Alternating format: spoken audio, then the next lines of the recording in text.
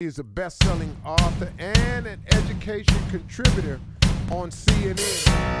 I'm JoJo Dodd, student body president. Are you in?